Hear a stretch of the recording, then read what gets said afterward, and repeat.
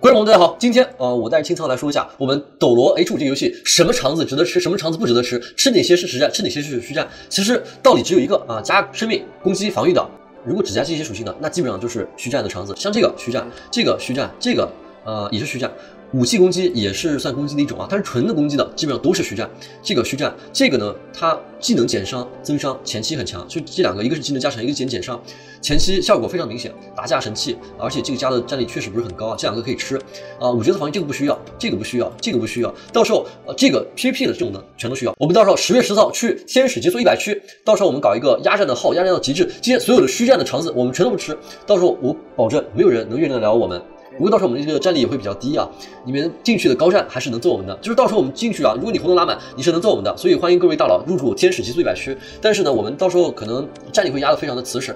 和大家说一下，这边基础生命也是，不管他什么前面什么前缀后缀，魂环也好，武器也好，乱七八糟的全都是虚战，对吧？这个也是虚战，这个技能减伤要武器攻击虚战，五秒回血虚战。回导器生命攻击也是虚战，呃，知识长虚战回合的，是吧？这个技能加成，呃，可以要一下。这个技能加成怎么吃到了七千一啊？这个太变态了，这个糯米肠。这个甜心玉米肠，呃，这里有个击破，击破的话是。针对于防御性的武魂，你打别人不会触发，但是如果说你打对面的这个焰就会触发，是针对于防御性武魂出来的一个新特效。到时候我们最后可以回过头来看一下那个特效是什么样子的。呃，这里先伤，先伤就是你打的第一个人的这个伤害，这先伤基本上是废的。小龙说要，但是我感觉不太需要，为什么呢？因为你刚开始是平 A 嘛，啊平 A 起手，你平 A 有有多少伤害？你加百分之一百五十二，分到五角色，每个人多百分之三十，这个先伤看起来很厉害，其实是个废物。呃，除非说他这个先伤有 CD，比如说三秒内的第一发这攻击是先伤。那触发这个先伤，那我觉得有点作用。但是如果说一场战斗你就打第一下，那就太容易触发了，那他就没有必要。所以这个东西，如果各位有谁呃和策划走的比较近的朋友们，或者说你们真的非常懂这游戏，比我们还懂，欢迎在评论区告诉我们这先伤到底这肠子虚不虚？这个海皇龙虾肠到底有没有作用？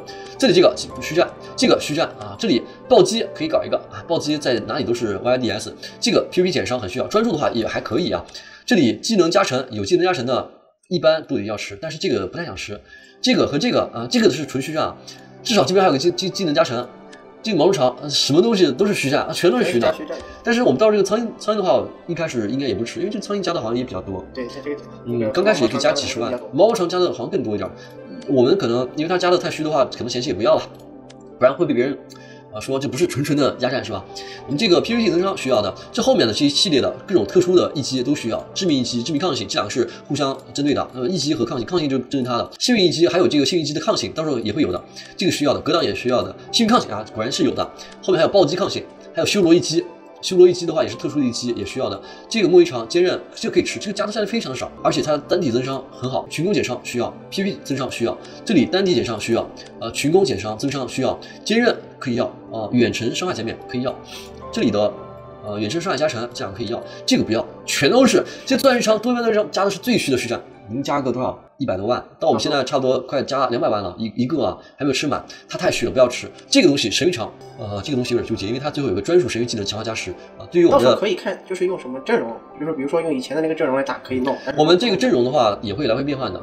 以我的经验来说，现在我们这五角色全都不需要这个神域技能加成，需要神域技能加成的有哪几个武魂啊？一个是 SP 塔，一个是。战神蛋白，那个老虎 SP 的老虎需要的，其他的新出的 SP 没有，这猫也不是，所以呢，我觉得那个神域钻石它有点虚，暂时先别吃，除非说。啊，一代版本一代神，你就那代神出来之后，他就是个主 C，然后呢，你非要不可！如果没有那那个神域技能加成，就被别人暴揍是吧？我觉得也不太可能，你城主落地，那怎么可能有人能轻松的揍你？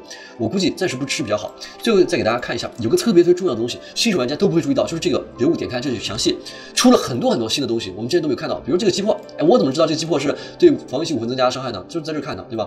这里专注是什么啊？攻击造成伤害会增加，就专专注越高，攻击越高。这里有一些有意思的东西，比如说生命归还啊，受伤降低比伤害。转为生命回复自己，这个相当于就是一个减伤，非常的强。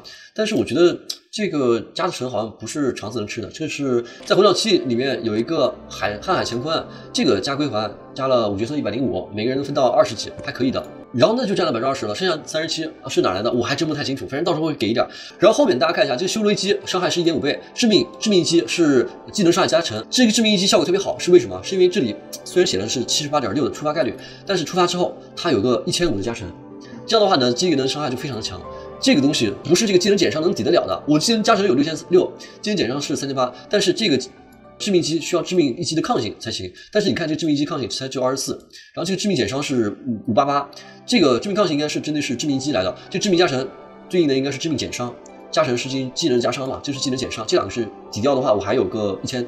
的这个致命加成，所以这个致命击非常的痛。幸运击是指对目标造成最高伤害的概率啊，这是从传奇演变过来的一个概念啊。传奇的攻击，比如说它是十三到十五，呃，攻击打出来的伤害是那么多，幸运值越高，你打出最高伤害就是十五的伤害就越高。有可能你平常是十三、十四、十五都打出出来，幸运高了就打十五的就多了，是这么个简单的情况。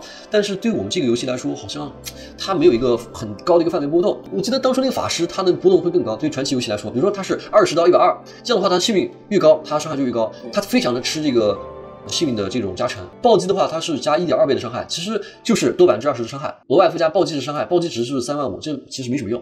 这暴击肠子其实不吃也可以，但是那个暴击肠子加的战力也不高，也可以吃一下。格挡和无视格挡其实无所谓，这个大家都都看一下。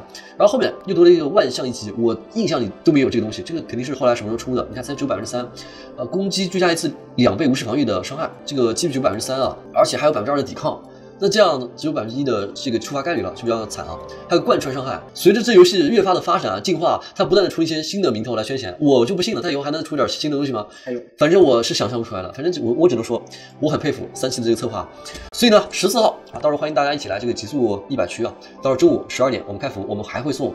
一百个 V 四的号，到时候如果想要进这个宗门呢，提前找我勾兑啊。到时候我们有三十个左右的这个走后门的名单啊，到时候这三十个人提前找我加四百的币，可以提前预约我们的宗门的位置。到时候我们那个宗门，我觉得一周至少会冲个三四十个六四八吧，因为大家都是氪金玩家，都是大佬，我觉得会很热闹。所以各位想要来天使极速爽一下的，可以到时候找一下我们，也可以直接在置顶说明左下角下载一下我们的游戏哦。谢谢各位，拜拜了，拜拜。